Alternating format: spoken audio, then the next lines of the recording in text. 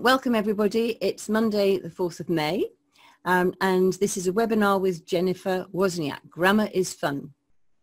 So I'm Helen Myers, I'm chair of the ALL London branch um, and Joe Dale is going to be moderating the session in the um, YouTube live stream, which I hope is working. Um, the webinar is being facilitated by the support of Heike Philp, who's given us loads and loads of help on how to do these sorts of things. But the person you've come to see is Jennifer Wozniak, Assistant Head Teacher for Teaching and Learning and Specialist Leader of Education in Teaching and Learning in MFL at the Hollins in Lancashire. And she has a wide experience of teaching French from Key Stage 1 to Key Stage 4. She's been involved in school-to-school support and you will see this. She has an absolute passion for teaching languages. We've seen that when she's presented at our ALL London events and at national events. So I'm really, really looking forward to this. Um, this is all run by volunteers, people who belong to the Association for Language Learning principally. Um, and I really hope that as many of you as possible will consider joining if you're not members already. Could you use this opportunity please in the chat to say if you are a member and if you could encourage people throughout to join, that would be great. Um, there'll be a link in the chat window soon as to where this will be stored and where you can see other webinars. And I'd like to particularly advertise three which are coming up. One, which has only just been released today, this Thursday, May the 7th, we've got the Institut Français. So um, they, um, who absolutely adore Jennifer Wozniak, they, I know that you've spoken for them as well. Um, and they're going to be giving us lots of information about what's online to support teachers of French. And then the next Tuesday, May the 12th, we've got Natalie Campbell coming to show us Showbie for remote learning. And there's going to be music. On May the 14th, we've got Paco Fernandez, who's going to be telling us about music and IT. So now, without any further ado, I'm going to stop and I'm going to pass over to the wonderful Jennifer Wozniak. Thank you, Helen. Uh, okay, so can everyone see my screen now? Yes. Yeah, okay, perfect. Yes. Um, so my session tonight is about grammar um, and why grammar is fun.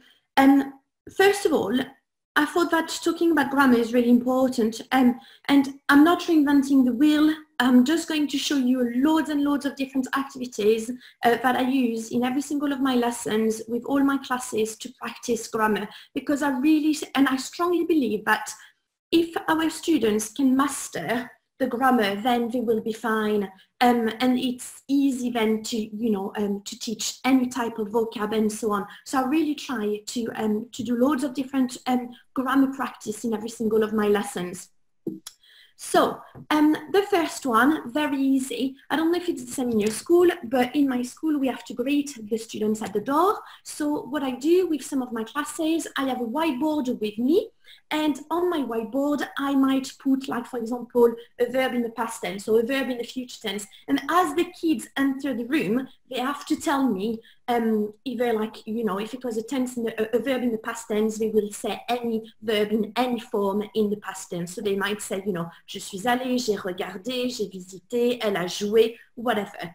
Um, so from the first um, moment they get in, they start speaking in, uh, in the language. But what is very interesting as well is that some students at the door, they're just like, ooh, kind of like they've forgotten maybe their past future or whatever tense, you know, I'm asking them to do. But usually what they do is that they let all the pupils go in front of them and they listen to some and then that's almost trigger their memory and then they give me another one. So that's an easy one to do. Something that um, as well, I'm sure you do uh, same as me, you know, we have to do the register in every single of my lesson. Um, and I think the, the register can be something boring. And from that moment, same thing, I want my students to be speaking, you know, uh, in French, Spanish, whatever the language you're teaching. So I might ask them to give me, you know, a verb. So it, it can be an infinitive. It can be, you know, a certain verb um, using um, a, tense that you want. I can do it on different pronouns. You can, you can use any type of grammar. It can be an adjective. It can be anything, an adverb and, and, and things like that. Um, so same thing is just to encourage the students to, uh, to do it. With some of my key stage four, um, what I do as well is that actually I want them to tell me a story. So I will give them a tense, so let's say the future tense, and as I do the register, so if I use my year 11 uh, as an example, Mariam is the first one on my list, so she might say, you know, um, ce soir, je vais jouer au foot. So tonight, I'm going to play football. And then I will say Matthew, the next, next one, and Matthew needs to add to that story. So you can say, you know, uh, avec mes copains, so with my friends, and so on. So the first time you do it, you know, you might have to prompt the students that what they might want to say. So you might say a few things in, in English for them to say it in target language. But as soon as you do it a couple of times, then the students, they, they just, they, they become a lot more creative and the stories are a lot more natural um, as well. So that could be um, something very easy to, um, to do. Something else that I do sometimes as a, as a starter, all my starters are not linked to uh, what I'm teaching. I always use knowledge retrieval and I try to use loads of grammar. So like, for example, that's an easy, a very easy one that I do. So what did you do uh, yesterday? And they just need to give me um, a sentence in the past tense. So sometimes they do it on their mini whiteboard. Sometimes I just ask, you know, uh, some, um, some students randomly. It really depends. Okay, one of the favorite activity, and it's a shame that I don't have my uh, materials with me because everything is at school, but um, and I've shown that activity to some of you, but a few years ago, you know, the fidget spinners drove um, absolutely every single one of us completely insane, and I ended up uh, confiscating a lot of them. And at the end of the year, when I opened one of my drawers in school, I ended up with so many of them. And I was like, well, the kids never claimed them back. So I guess they're mine now. So what I decided to do is that on, a, on an A4 piece of paper, like, more like a card paper if you want, in the middle of the paper, I've put some glue stick and I stuck the fidget spinner on it. Then around the, the fidget spinner, I've just wrote the subject pronoun. So je, tu, il, elle, on, nous, vous, il, elle. And then on the, the fidget spinner, I just put like a little arrow. And what, I, what I do, one of the activity with my classes is that in pairs, they will have, so in total, I've got 16 different ones, so they can, um, they can play this activity in pairs. So on my board, on the slide, I would have a list of infinitives. Um, so it could be any infinitives that you want. And then on my board as well, I will have a tense. So same thing, it can be the tense that you want as well. And what the students have to do, they um, spin the fidget spinner. When it lands on one of the subject pronoun, they have to look at the board, look at the first infinitive, and they have to conjugate that infinitive in the tense that you've picked and using the pronoun that um, um, and, uh, landed you know, when they spin um, the, the, the fidget spinner. So then now you might think, okay, but how on earth do you check that what they think is the right answer is right? So it's very easy. What I ask them to do, I just ask them to write their answers on the whiteboard. Um, so if it was the verb regarder, to watch, and if it was the past tense, and it landed on L, they should write on their whiteboard, Elle a regardé. And then they carry on and they take turns and they do that. Uh, and then during that time, what I do is that I go around the classroom, I look at them in the whiteboard and I just either like tick or put a little cross if it was not, not right. But it's an easy way. And the kids absolutely love it. And don't get me wrong, a lot of the activities I'm going to show you you could say, well, I could just be testing them saying, how do you say she watched? How do you say I went? And things like that.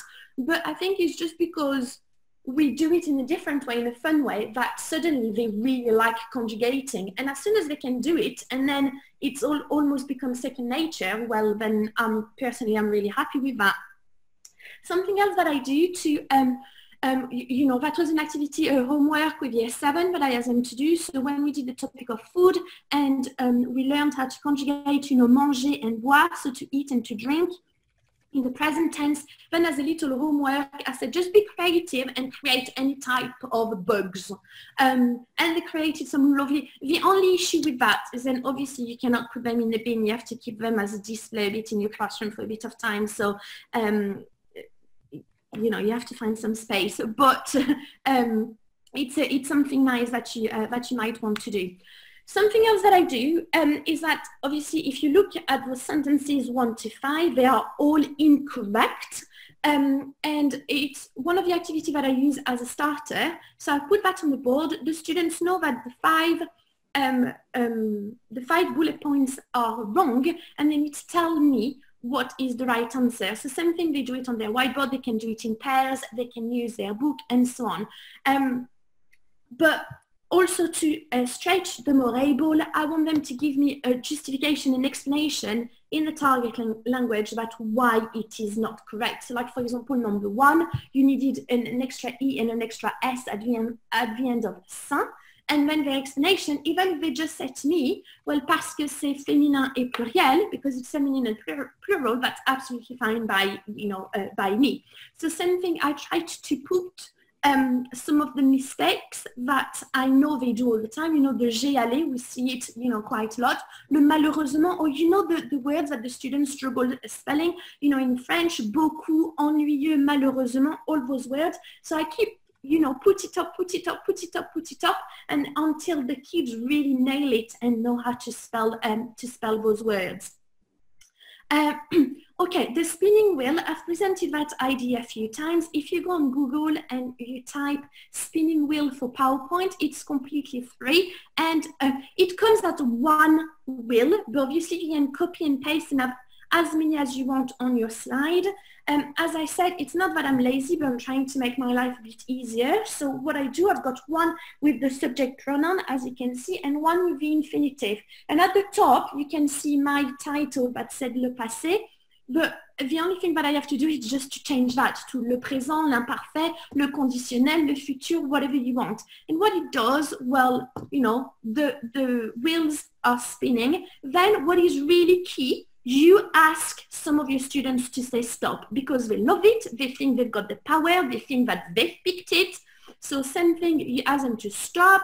So it's il and it's aimé. So on the whiteboard, they have to write he liked um, in French and then very quickly. And same again, as I said before, you could have asked them, do you say he liked? And them showing them straight on the whiteboard. But just because there's a will on the on the slide and just because it's spinning and just because they say stop they really like it and it's it's one that you can do um, all the time and very easy to adapt as well. Um, okay this one um, obviously you won't do it all the time because it does cost a bit of money um, but um, the little story behind that is that a few years ago when I was um, I love chocolate. I really really like chocolate and I was driving back uh, back from work and I was eating um, a, a, bar of chocolate. And I was in the car and obviously, you know, I was thinking about my next lessons that I needed to plan with all my classes. And then whilst I was, eat, was eating the, uh, the chocolate bar, I realized that there's six little uh, pieces of chocolate, like six subject pronouns. I was like, wow, that's amazing. You know, the kids could conjugate with chocolate bars. So then instead of going home, I went to the shop, bought one for every single of my year 10 students, put um, an infinitive on it. So at that point, when we did it, we were looking at the imperfect. So, you know, uh, what they used to do when they were little.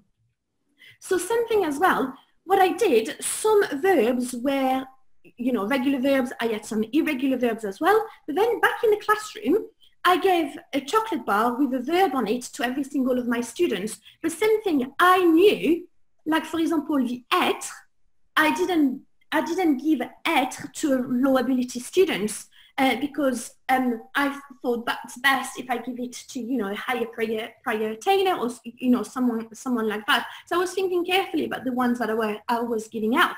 And then what the students had to do, part of the deal, is that on their whiteboard, they had to conjugate their verb that I gave them using every single subject pronoun. Um, and they had to conjugate it in the imperfect, but they could only eat the chocolate if they had the correct answer. So I said to them, if you've got only three subject pronouns right out of six, it's three pieces of chocolate for you and three for me, which obviously they didn't really like. So actually this activity took quite a bit of time because the kids wouldn't show me their whiteboard. They were just, they kept like showing everyone in the classroom to check that they had all the right answer just to be able to eat the chocolate. But that did work. So obviously, as I said, I won't do this activity all the time because it does cost a bit of money, but once in a while it's nice to do something, uh, something different. I also use uh, songs quite a lot because I think it's a great aid, you know, to um, well, that helps, you know, with memory. And um, and there's loads of different ways for the students to remember, you know, the ending uh, or certain verbs um, by singing. So this one, obviously, you all know this one, you know, the, the, the Pink Panther, you know, j'ai, tu as, il a, elle a, on a, nous avons, vous avez, ils ont, elles ont, you know, and, and, and so on. But what is really important with singing as well is that yes, your students are going to remember that song really, really well if you practice it with, with them, but do not forget to make sure that they know what tu mean, what elle mean, what vous mean, and so on, because they might know the song, but if they don't know what it actually means um, in English, well, that's not actually going to help them um, you know, on their writing, on their speaking, you know, and so on. So always make sure that they know very carefully um, what obviously uh, what, what it means. Now you might ask, because I've just copied that um, slide for one of my PowerPoints, you might ask why I've got a little ghost at the end of um, some of the words. It's just because my students know that when there's a ghost, it means it's a um, silent letter. So they should not be saying the, the, the, S, the Z or the T at the end of the word. Um, so So that's one of them. I use also this one. Um, if you go on YouTube and if you do not know Etienne, um, is wonderful. Um, he, there's loads of uh, some of his songs that you can use, you know, um, when you do the imperfect, when you do, you know, he, he, does absolutely loads. So this one works with the imperfect and the conditional. So I'll just show you a quick extract.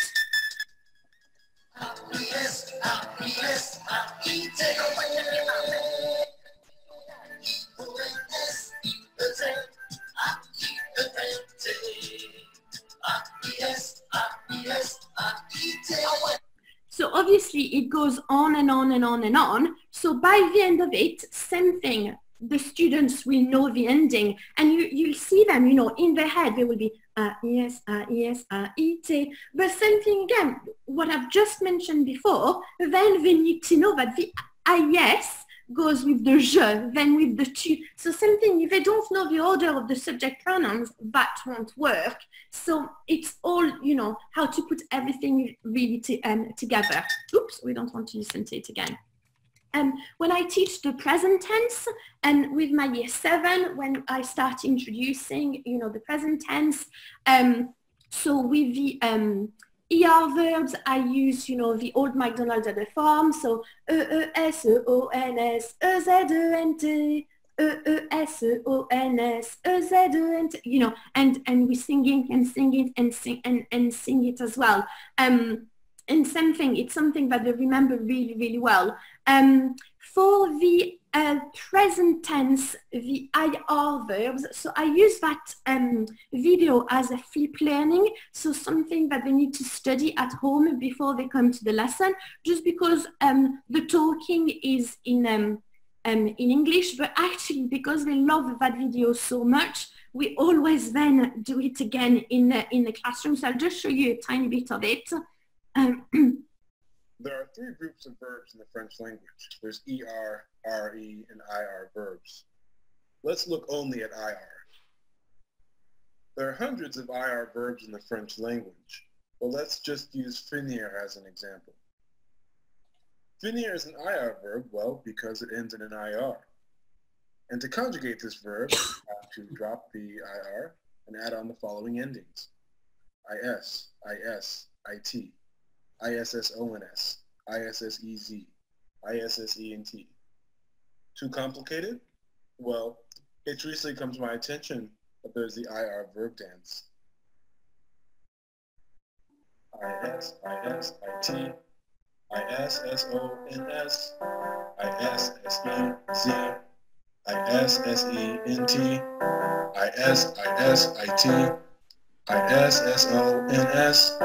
I-S-S-E-Z, I-S-S-E-N-T. Remix, remix.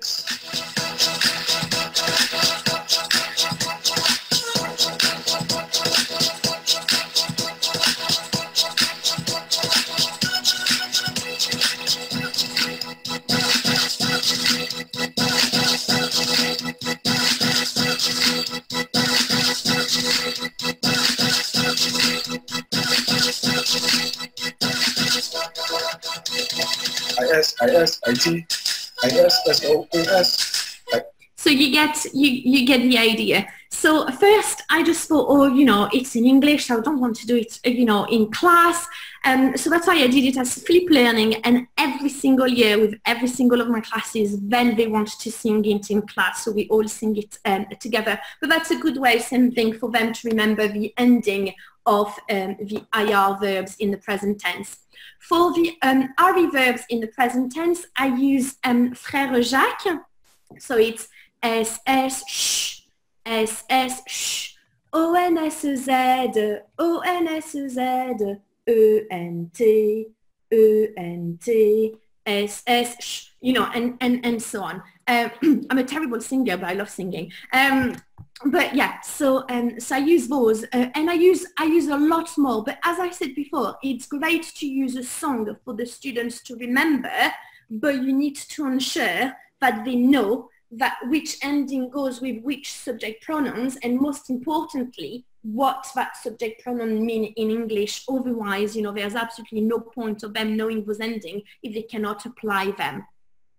An activity that I do as well. Um, um, that was um, it, it's the paper chain activity. So for this activity, usually I demonstrate that activity. So I'll just explain um, and at the end, if it's something is not is not really clear, just just let me know. So what you have to do for um, for that activity, you need to have two pieces of paper per pair. So all your students are working in twos, and they've got let's say a blue piece of paper and a pink piece of paper. On the blue piece of paper, they will have a list of sentences in the target language. On the pink piece of paper, they will have a list of sentences in English. However, the sentences in the target language and the ones in English, they do not match at all. So it's not a matching activity, it's just for them to translate. And what the students have to do they have to cut the first sentence. So if they started with the blue piece of paper, so they had a sentence in the target language. So what they have to do, they have to translate that sentence into English. When they think they've got the right answer, they need to then run to you. You need to check their answer. So you need to check that it's, you know, completely right, that the accuracy is spot on. And if it's right, what they have to do, they have to do a little circle and just, you know, uh, stick, you know, the, uh, the end together. But then what is really important, you need to ask the students to alternate the colors. So then they need to move to pink sentence. So they cut uh, one of the uh, pink sentences. So it's sentences in English. And what they have to do, they have to translate it in the target language. They come to you, you check if it's right, and then you start the paper chain. Why it is important to alternate the colors? Well, just because otherwise all the students do prefer translating the sentences from the target language to English because we find it a lot easier. So with that, it means that uh, they don't really have the choice and they do have to alternate. And obviously it's the longest chain at the end that um, wins. And same thing, that takes a good, you know, a good 20, 25 minutes of your lesson. The students absolutely love it. Um, so same thing, you can use that activity to practice, you know, grammar, complex structures, word order, and so on. Ping pong verbs. Um, so this activity is um, quite fun as well auto start as it should have done. Um, so what you have to do, you've got three ping pong balls with some subject pronouns written on them. So one might be she, one might be we, and one might be um, they. And the students, they've got five points for each pronoun which they can correctly conjugate um, um, so let's say that they've got, you know, as I said, you know, uh, she, we, and they. If I give them the verb, uh, you know, to listen, écouter, they need to conjugate that in the tense that you want and, and, and, uh, and so on. Same thing you can, in terms of differentiation, you can make sure that you um, give maybe more um, irregular verbs to your more able students and more common verbs um, to your um, you know, maybe, you know, four, five borderlines um, uh, uh, students. Adding fun, obviously, I only do that with classes that I can really, really trust, not all of them. Um, you know, for extra points, you know, I might have, you know, usually I use a bin. Um, and if it can throw the ball back into the bin, then, you know, they get an extra point. But that's just for fun. It's nothing to do with, uh, with learning this one. La course aux grenouilles, uh, I use a frogs because I bought them on Amazon and I thought they were dead cute. But you can use absolutely anything. So I've got um, about 16 different frogs and under every single one of them, I've got a number. So number 1 to 16. The students are playing in pairs and all my little frogs are on my desk at the top, uh, at the front, sorry. And what the students have to do in pairs, so they need to come to me, grab a frog, go back to their team, and if they've got frog number three, they need to translate the sentence number three. As soon as they finished it, they need to come back to me, put the frog back on my desk, and then get another frog. So if this time they get a frog number 10, they need to go back to their team with the person next to them. They need to translate sentence number uh, 10 and so on. But obviously my frogs were in the right order when I started, but as the students keep coming and getting some, they're all in the random order. So sometimes the kids are really waiting for a number to come because you know they need to finish the grade you know uh, first so same thing is just adding an element of fun um, and um, a different way for them um, to conjugate contre la souris against the mouse i'm sure that you know this activity and i'm more than happy to send you the template as well if you've not got it but the idea is really really easy is that on the black um, screen you've got a verb, so you can have it in the target language or in English, it doesn't matter. But the students have to translate it before the mouse gets into the um, into the hole. Okay, so he finishes, so they need to do il finit before the mouse disappears. Okay, and then obviously you check the answer and you check, you know, the um, accuracy. So the students, you know, they do it, I make them do it on the mini whiteboard so I can check that they also know not only how to say it, but how to write it, especially with the fini. I don't want them to write il fini with an S at the end. I want them to write it with a T. You know, she plays, elle joue, the same thing. They need to say it before the mouse disappears. So it's just a different activity that the students enjoy. Okay, the mix and match, match sentences is one that works really well. So I've got four, so let's pretend, so this activity, last time I've done it, it was with, a, uh, with one of my um, year eight classes. So I've got 32 students uh, in both my year eight classes. So I've got four teams of eight students, okay? And each team gets a set of cards, knowing that all my teams get the same cards. So my team one get a set of cards, but my team two will get exactly the same set of cards, okay? Um, and each pupil have to get a card from their own set. And then as a competition, they need to line up recreating the sentence in the right order, okay? And the first team to do it you know, gets um, a, a, point. So same thing, that's to practice the word order. So like I've put an example here. So on one card, I had E. On another one, I had M apostrophe. Then I had pas, ne, entend, avec, bien, and je.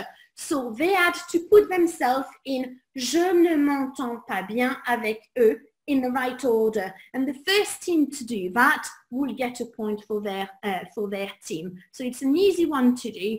Um, and then obviously I did that first as a group uh, to then, um, because I wanted them to do then um, an activity on their own to practice those kind of sentences. So I thought, I thought it would be best to first do like a little group activity um, so they could collaborate um, together. So this activity, you can do it in loads and loads of different ways. So um, you can call it as well the way that you want. So who would be the, the, the fastest? So you, uh, the fastest, sorry. So you, you've got your class. Your class is split in two teams. I always do the team competition in my class. So I've always got my team um, pain au chocolat and my team croissant, or I've got my team Madrid and my team Barcelona. So depending on um, my Spanish or French classes. So I've got my two teams On each team, I give a student a number. So if I use again year 7 or year 8, year 8 or year 9 class, usually we've got 32 students in our classes. So I've got number 1 to 16 on my team uh, croissant and 1 to 16 in my team pain au chocolat. Then I will ask a question. It's really, really important that you ask the question first. Then you give the students a bit of thinking time thinking, thinking time and then you shout a number. So like for example, if I say, how do you say it will be? I pause, give them a bit of thinking time and then I said number five. So then both number five from both teams, they need to stand up and shout the answer in the target language. And the fastest will get a point. So why am I asking the question first? Is because if you ask the number first, then the rest of the class won't pay attention or try to find the answer. But if you ask a question, well, they know that it could be them. So it could be anyone in the room. But also something to do is that, like, for example, my example, I gave number five, you know, uh, pick number five. But then maybe two or three times later, I'll pick number five again. So number five realize that they cannot just chill for the rest of the lesson or the rest of the activity and that they should still be, you know, on fire and try to, you know, listen and answer the, the, the question. Then there's loads of alternatives to that, um, to that game. One of them is that the pupils, you know, with that number, race to the front, collect, you know, a, a, a, pen and write their answer on a mini whiteboard. So depending on the layout, be, unfortunately, I do not have my own classroom um, because um, I'm SLT, so I'm going from one class to the other. So um, some sometimes depending on the layout of your classroom, you might think, well, some of my students have no chance to get to the board at the same time of the others. So I don't know if you know um, the magic whiteboards, but you can buy it uh, online. And basically it's a piece of paper that acts as a whiteboard but can stick everywhere. So it does stick on windows, on wall, on doors, on absolutely everything. And you use it as a whiteboard. So depending on the layout of the classroom where I am, uh, sometimes I use different um, uh, magic whiteboards on the, on the walls or windows or whatever is around. So then it's easier for the students to, to get to. So same activity, but this one they, uh, they race to the board, collect the pen and write the answer in the target language. Another alternative is that um, every single student um, use their mini whiteboard. So you ask a question, something, give them thinking time where they write, you know, the answer on their mini whiteboard. Then you shout a number and it's those two students. So if you use number eight, it's both number eight from each team to put their whiteboard up if they both got it right, it's a point for each team. If one, you know, misspelled it or missed something, obviously it's a point for the, uh, for the other team. Another alternative to the same game is that um, this time um, you give both teams a set of cards. So same thing I've learned from mistakes. So make sure you use two different colored ca cards. So like for example, green and, and red. So your team Madrid will get the red um, cards and your team Barcelona your green cards. But obviously the red and the green cards are exactly the same. Um, and this time, you know, you might say, how do you say um, I get on well with? Um, and the, the, the two person with Je m'entends bien avec need to stand up and say the word. Um, and then you know between the team they can swap the cards uh, if you want to uh, to play this activity again. So there's loads of different um, ways of playing exactly the same activity but every time every um, activity um, with a bit of competition the kids are really really up for it uh, and really engaged. This activity as well so I've got so for this activity, same thing again, let's pretend you've got a class of 32. So you've got 16 cards in the target language and 16 cards in English. But obviously the English is a translation of um, whatever is on your cards in the target language. So I use it with to practice tenses, okay? So every single of my uh, students get a card. Then I'll put some music on. And the rule is when the music on, it's complete silence and the kids are just swapping cards. So they're walking around the room and they swap cards. When the music stops, they need to find their partner. So let's say that someone had il y a, they need to find there is. If someone got je suis, they need to find I am. And as soon as they found their um, partner, I ask them to line up. So then straight away, I can see who's got their partner and who's still doing the activity. At some point, because obviously the activity, you don't want the activity to last, you know, um, hours. So um, I've got at some point I will stop the activity and I will have a little um, lost and found corner. So all the students who didn't find their partner, they need to come to my little corner with me straight away I make them show their cards to each other and straight away like, oh, we're together, oh, we're together. And then they go and line up. And why do they go and line up? Because then what I ask them to do, I ask every single one of them to read their card. So, you know, you will have je suis, then the next person should say I am then say it is je suis allé, I went, or whatever you've put on those cards. And then what I'll do again, the music will start again.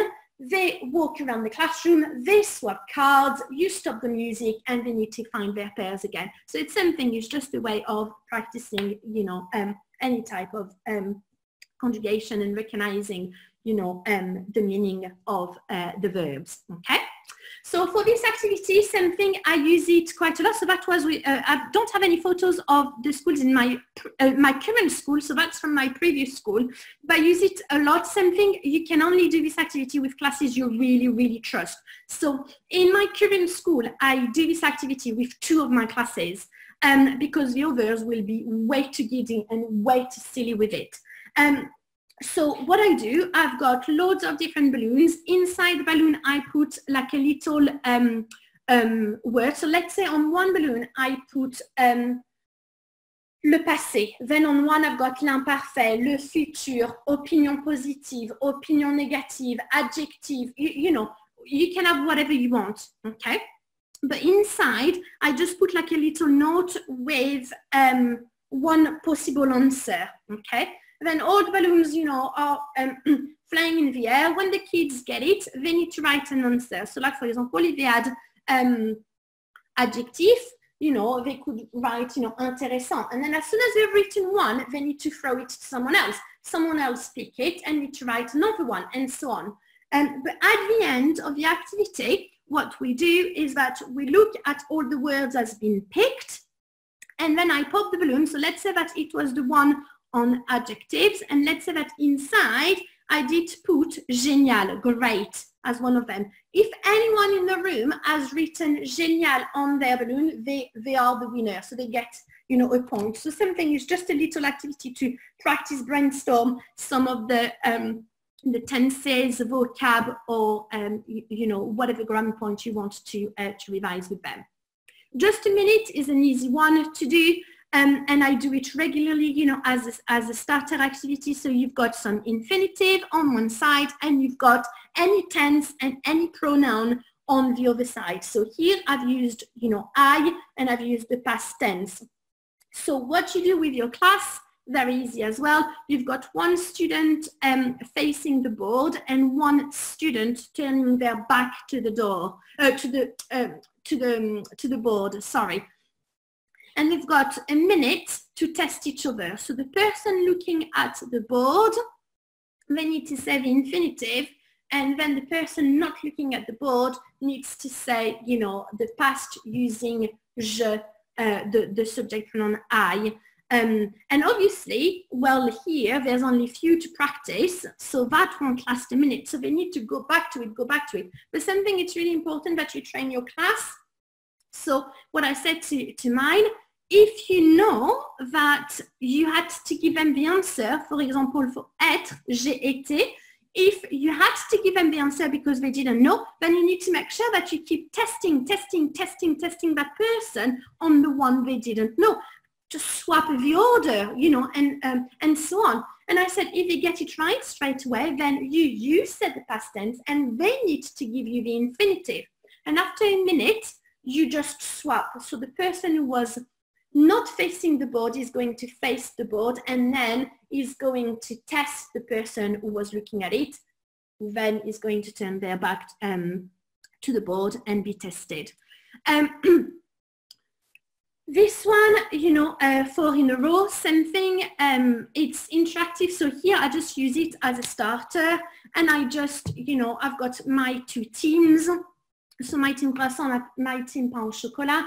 I'll ask someone to pick something. So they will say, you know, eux deux. Okay. And I will say, okay, Matthew, um, comment dit-on? And then you ask them to say something. So something I use, I use it with, with um, conjugation. It can be any tense. I mix up the tense as well because it is mixed up um, in general now in, in real situation. Um, so I don't, you know, I don't want them to only practice the past or the future. I really want to, to mix it. If they get it right, you know, and they say they're the right team, um, here, but if you click again, it becomes, you know, yellow. And if you click, click again, it um, starts again being back on the, on, on the blue. So same thing, what, what is quite good not to have prepared in advance, having a not having a list of questions on the board, is that depending who you pick in each team, you can pick a tense or a verb that is appropriate to that person. So I won't ask something extremely challenging to someone who's really struggling, and I won't ask something very easy to someone who's excelling, you know, in French or in Spanish. So something you can differentiate, you know, uh, that way. This one is very easy as well. Um, so behind the grid, I've got 15 yellow um, circles. And what the students have to do, they need to give me a number in the target language and I make them give the number in the target language because I'm sure you experience exactly the same thing as me. They're great with numbers in year seven and in year eight and then it comes to key stage four and your year 11 can't even say 15 or 70 or whatever, which drives me completely insane. So same thing, what I do sometimes, instead of doing 1 to 42, I'll start at 50 um, and then to whatever number to make sure they practice, you know, um, the number. So they have to give me a number in the target language. And then let's say that someone uh, picks, you know, number 10, so numero 10, then I will ask them a question. They need to give me the answer and then we, we reveal I didn't do it on purpose. I knew a yellow circle was there. But if there's a yellow circle, then they can get something. So I either ask, I usually give them the choice when I do this activity. They can either have a sweet, a chocolate, a grape, or a merit.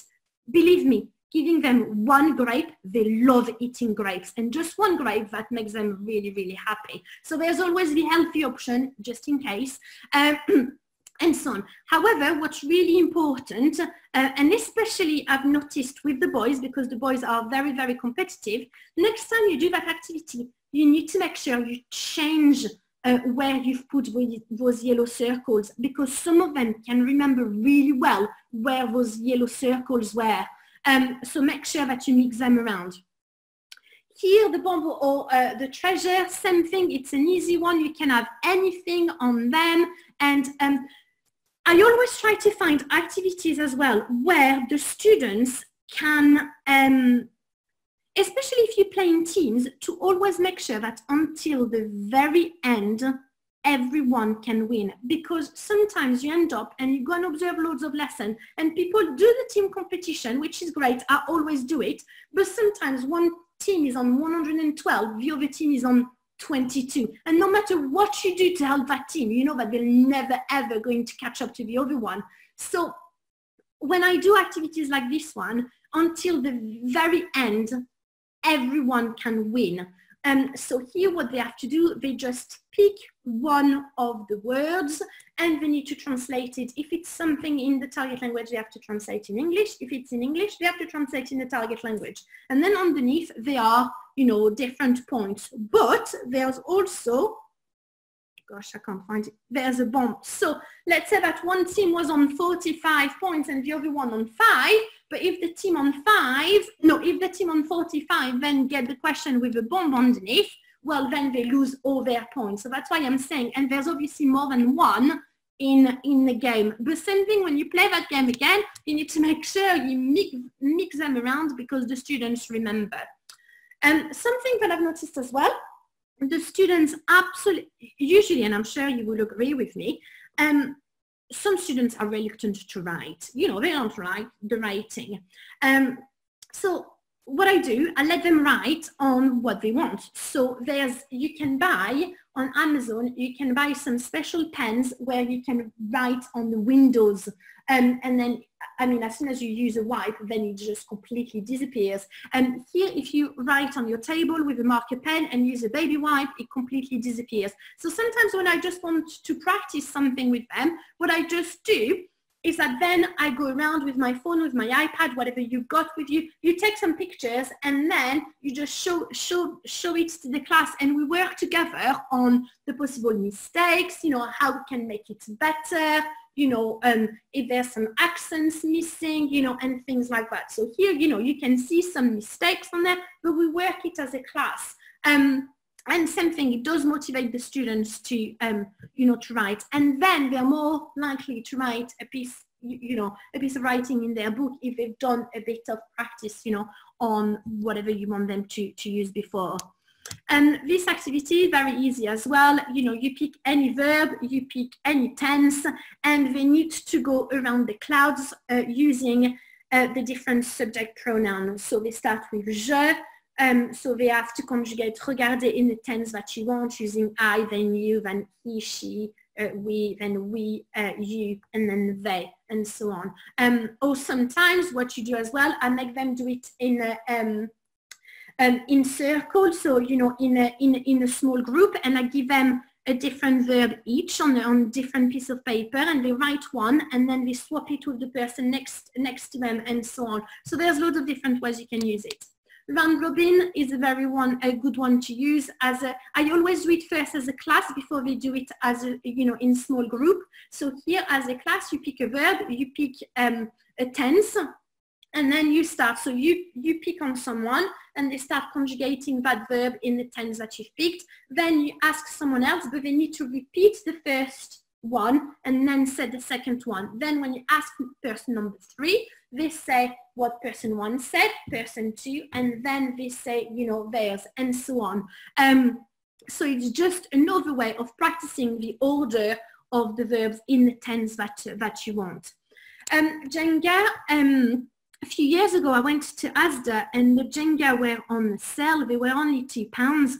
So I bought eight eight um, games so my classes could play in teams of four. Um, the same thing, you know, you learn from your mistake and I was very disappointed that Ryan, who was driving me completely insane at the time, I actually uh, made a very fair point and I was really disappointed uh, with myself because um, when I got those uh, Jenga games, I convinced my husband to help me um, writing a number on every single um, um, little block.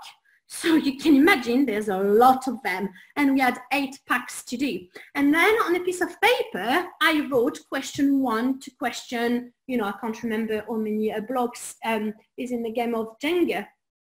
And what the kids had to do in groups of four, so um, they had to get, you know, obviously play Jenga, but every time they were taking a block out, there was a number on it and they had to look through the paper I gave them, ask that question, the answer was on it so they could test, you know, test each other. And at the end of the game, Ryan, who was in my A11 at the time, I did that just before their mock exam to practice like random vocab. And uh, Ryan said, uh, Miss, why on earth did you spend so much time writing a number on those blocks? Because you could just have given us a piece of paper with all your questions and we would just have gone in order asking each other the different questions. And you know when you're like so mad at someone because you know you know he's right and it's you know someone very cheeky telling you that. So please do not do the same do not make the same mistake as me and do not waste your time writing numbers on blocks because there's absolutely no need for it. Um, this one is a good one to use as well. So same thing, I use um, one infinitive. So here it's avoir as an example, and I use it in loads of different forms. Okay, so I must have, I can have, I um, I'm going to have, I should have, you know, and so on. So the first activity that the students have to do, very easy. They just need to match them up. Okay, so they can just do that. But then, what you know, you might want to ask some of your students to do is like, okay, well, if je veux avoir is I want to have, how would you say I want to listen? I want to go out. I want to chat. I want to download, you, you know, and, and, and, and things like that. So I do uh, that activity as a, start, as a starter you know, quite often as well, just to practice, you know, the different ways. But actually, and, and what I've noticed, especially with, you know, my grade four and my grade five candidates, is that if they nail that je with those 10, and if they know those 10 really, really well, and they can use it on the writing and the speaking, well, that's it, that's fine. You know, they'll do well. So um, that's why I, I constantly, you know, repeat that activity. That's an easy, easy one to do. Okay, the phrase, phrase auction as well. Um, very easy this one. So, you know, you've put a sentence in the target language, then you put the answer um, in the target language, but it's not necessarily right. Some of them might have mistakes and the students need to bet and decide if it's accurate or not. So like here, for example, I like my teacher because he's kind, but I've put parce qu'il a gentil, one of the mistakes that they make. But they need to bet and decide, well, is it true or is it not true? And if it's not true, what is the correct answer? Uh, some of the grammar that I use as well, from to, so from one verb form to another. So like, for example, if I use je, the students have to give me a nous or il or uh, you know or vous or whatever. So here, for example, if I say je vais, they need to give me nous allons. If I say je regarde, they need to say nous regardons. Another one that you can do, you um, from one tense to another. So if I said the past tense, they need to give me the present tense using the same subject pronoun. So if I say on a écouté, they need to say on, on écoute. If I say uh, j'ai joué, they need to say je joue. Um, and then the most tricky one, from affirmative to negative, because uh, I'm sure same thing, you know, we all teach the same students, they struggle where to put the ne pas in the, you know, or ne jamais in the, sen in the sentence. So you give them one and they need to give you the negative. Um, conjugating in team, so you've got um, so you divide your class into different teams and you line them up facing the board. Or same thing, you can use the magic whiteboard as I mentioned. So the first person from each team comes to the board and writes any one form of the verb on the review. So let's say that you've put regarder. They, they can put on regarde if they want. They do not have to start with je, okay? But then he ends the whiteboard pen to the next person and they need to put another form of the verb. And basically it's the first team with the je to the, you know, when IT all correct, that will um, um, uh, win the, the, the, the, game. If you want your class to do this activity in silence, because sometimes, you know, you won't, well, very easy. The only thing that you have to do every time that someone stalks you, just get rid of one of the verbs that they've written on the board. Believe me, it does work and it makes them shush. Um, so you can do it this way. And something to make it more challenging, you can have two or three columns with different, uh, different verbs. I'm sure, you know, you use dice quite a lot. I use dice all the time. So same thing here, it's past tense, ER verbs. You've got your pronouns on one side, infinitives on the others. So you give them two dice, they roll the dice. And let's say they've got three and six. So they need to use il and elle with regarder. So they need to write il a regardé. Same thing. It's really important if they do it in pairs that you make them write on their mini whiteboard then you can check that what they think is the right answer is the right answer. You don't want them to think that something is right if it's not. Sudoku, I use that quite a lot as well. So here's an example when I um, did avoir un être um, with my year sevens. And then I, as a homework, they have to do a, um, a Sudoku as well with, you know, finding, you know, the, the, the, the missing ones. Uh, and that worked, you know, really, really well. Um, make students find out a grammar rule by themselves. So I've used that recently with the comparative. so I gave them loads of sentences with the comparatives and they, they, had to come up with the rule by themselves in something, you know, uh, that sometimes I found they remember it better if it's coming from them first. And central uh, puzzle, so same thing, you give them um, words in a different order and they need to put it in the right order. So it's really good to practice word order with the negatives, with, you know, uh, the place of the adjectives in the sentence and so on. And if you don't know that website, um, you can type any sentence and it will mix up the words for you and um, uh, for free, obviously. So um, you can use that. Here, um, I'm doing quite a lot, and I'm sure it's the same with you. Uh, you know, listening is an issue, so making sure that the students um, really um, work on their listening skills and trying to make them feel more confident with their listening skill. So, you know, I will say some sentences to them in the target language, and they just need to write down the verb that is conjugated.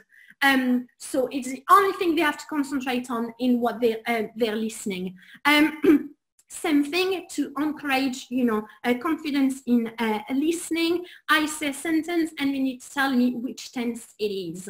Um, the corner game, okay, so for this activity, I've got four students and um, one in um, a different corner of the room. I asked the rest of the class to have their verb table or their knowledge organizer in front of them.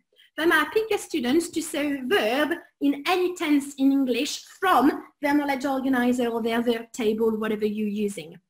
And the first person in the corners to shout out the correct translation of the phrase, move clockwise to the next one.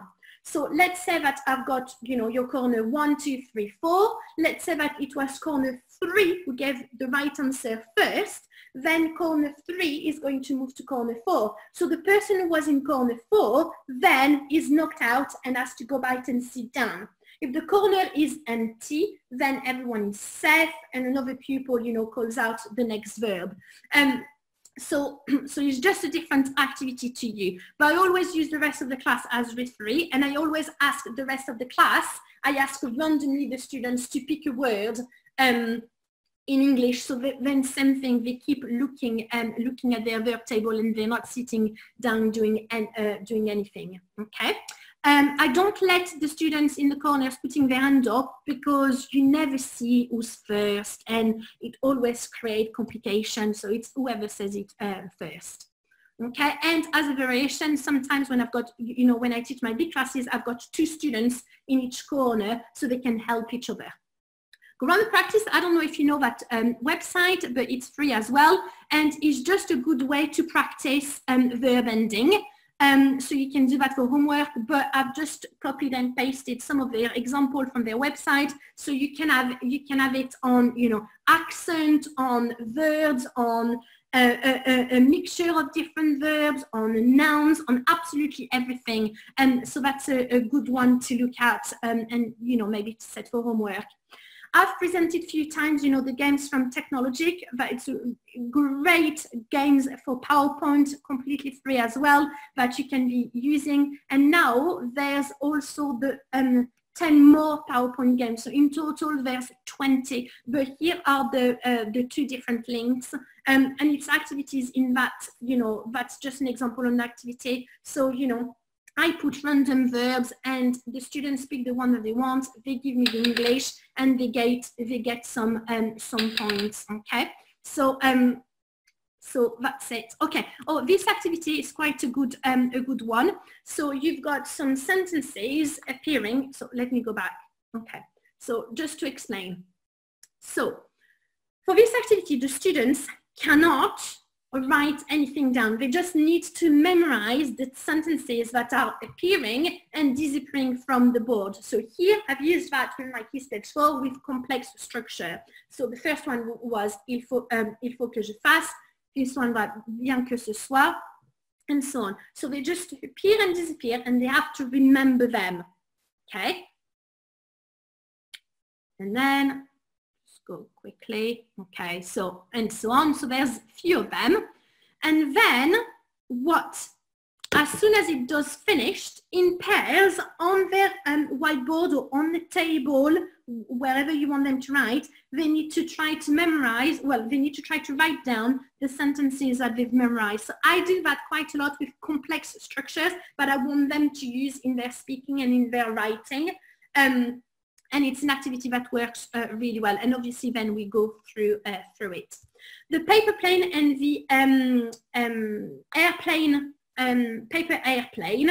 So um, I put on um, a paper plate or uh, a paper airplane um, a, a verb in and, and, and, tense and we use the uh, paper, paper plates as frisbee and we throw the uh, paper airplane and when the kids get it, They just need to look at the verb, look at the tense, and conjugate it in the right um, in the right verb, and then we throw it to someone else, and and so on. And then what I do is that I use the visualizer put the uh, paper airplane or the paper plate underneath and then the students um, and then we can uh, check that it's all accurate if there's anyone missing you know and, and so on grammar project something that I do especially with year eight you know. So in year seven we do um, uh, you know the present tense and we go quite in depth with the present tense and so on. Obviously in any topic that we do we always recap all the tenses. So then in year eight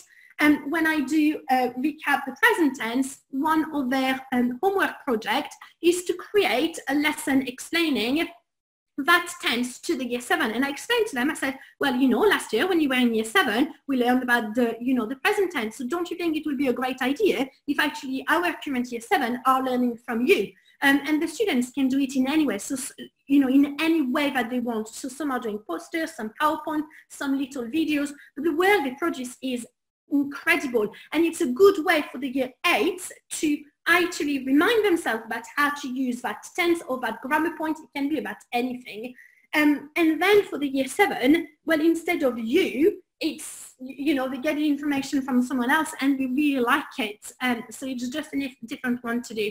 This activity, so very um, very quickly. So you've got, you can have any sentence in the, in the middle. So, je joue au tennis.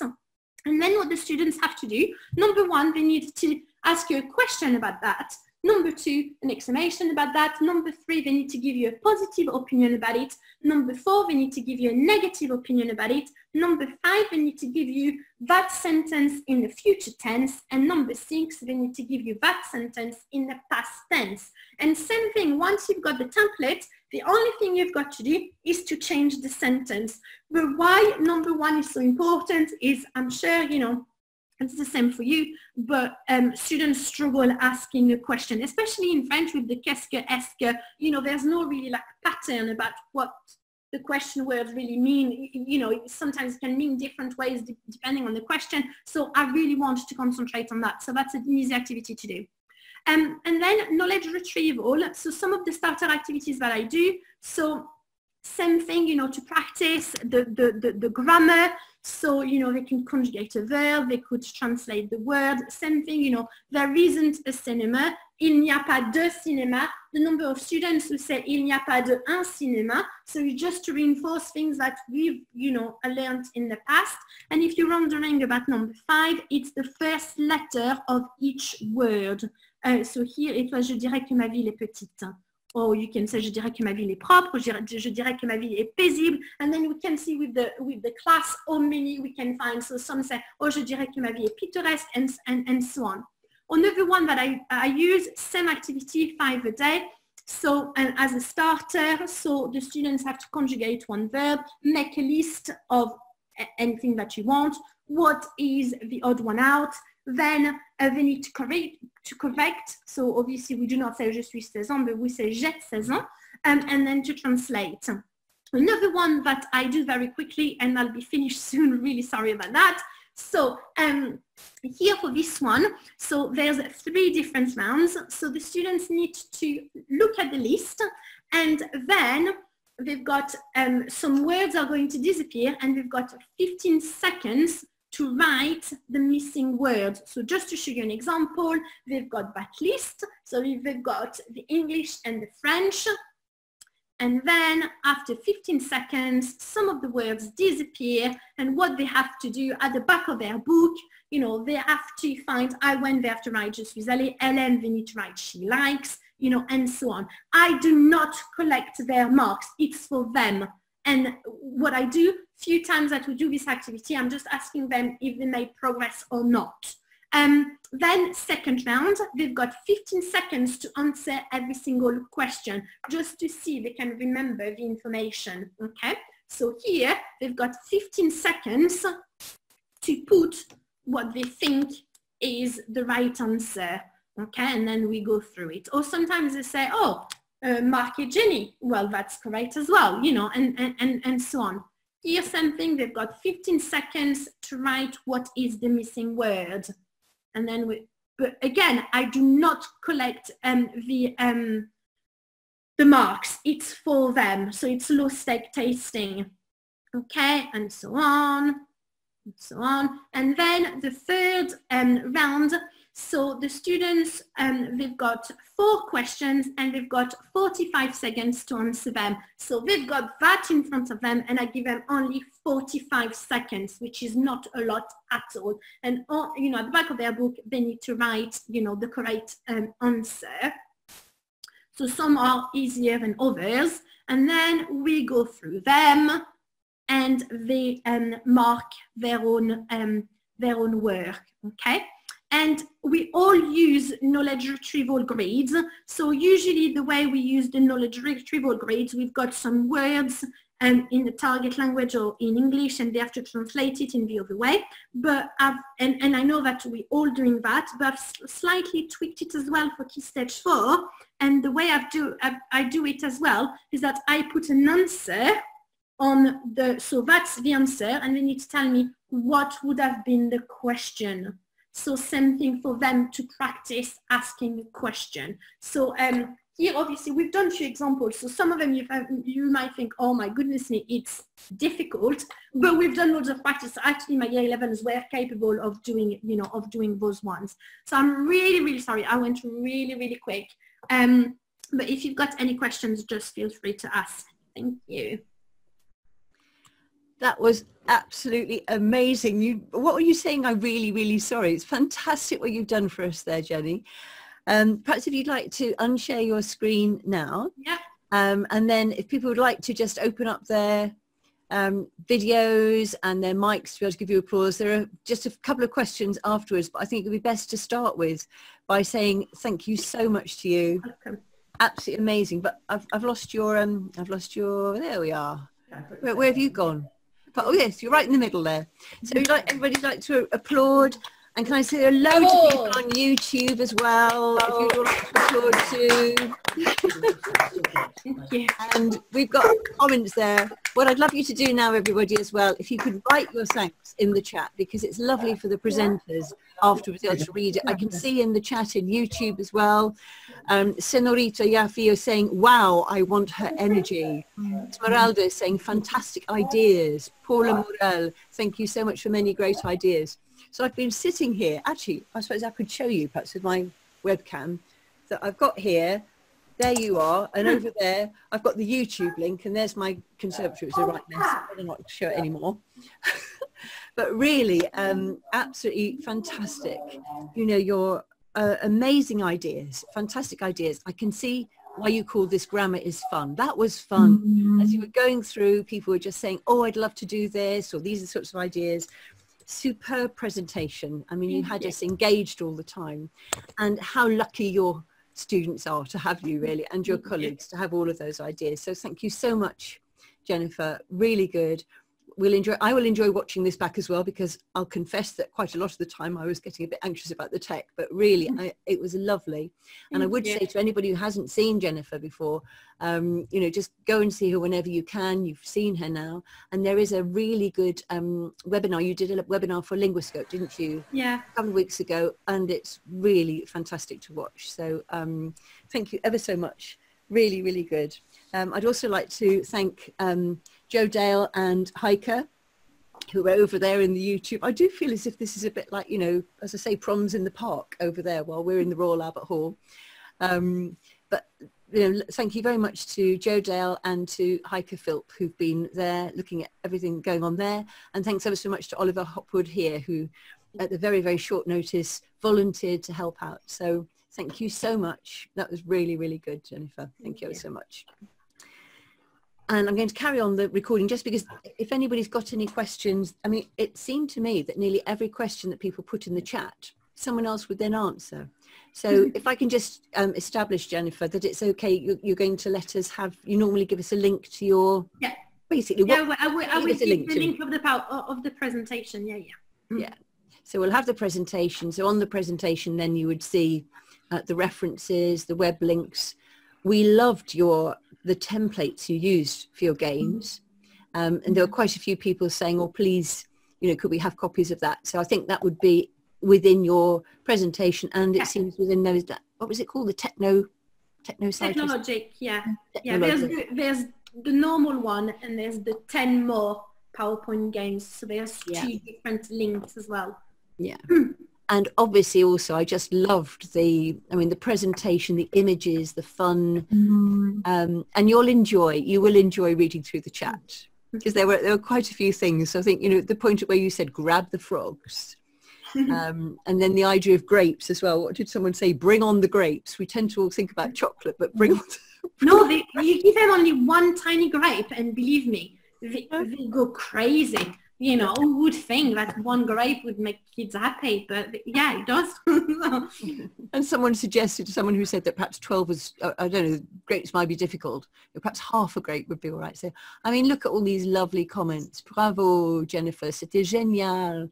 Merci beaucoup. Fantastique. So really, really great. So thank you ever so much. And if I've, if there's anybody who's got a burning question that I haven't asked, if you could put it in the chat now so that we can quickly look at it. Because I, did, I kept on writing the questions and then crossed it out as somebody had, uh, had the answers. But I think everyone's saying, thank you, very informative. Someone said, are the resources or templates going to be available? The answer to that, Noala, is yes.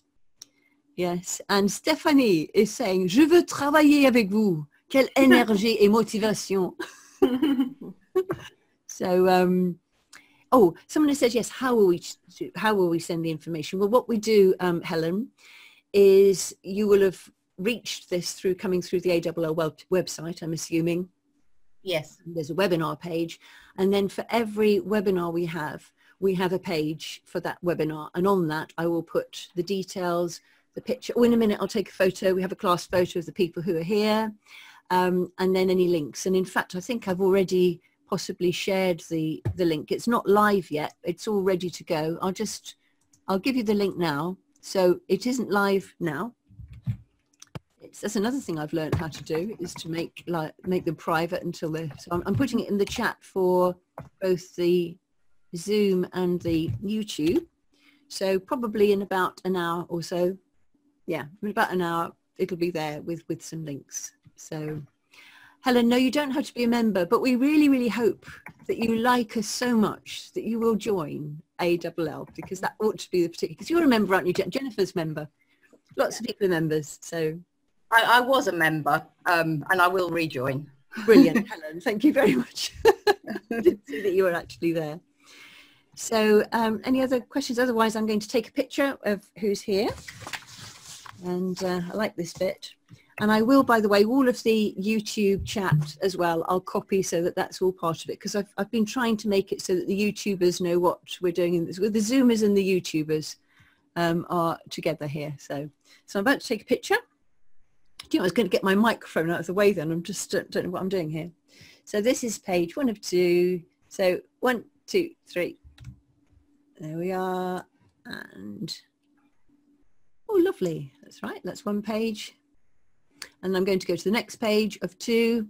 So I'm now on the page with Pilar and Mart and Mrs. Flint is there. Mrs. Flint of Bring on the Grapes. And let's go. So one, two, three. Oh, didn't work. One, two, three. There we are. Let me just select you all.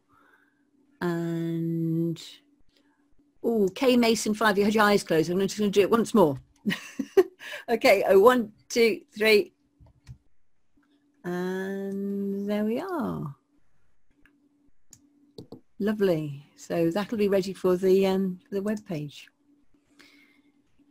Oh, okay. Or someone said, how much is it to join? If I put, I'll put on the links how much it is. To be honest, I can't think off the top of my head. I know that we make it that for whatever it costs you for a year, if you come to ALL London events, our two events, you save the money for joining and there are diff- different rates. So, um, okay, so I think now I'm going to stop the recording unless there's anything else that's urgent. Let's see if I can do that.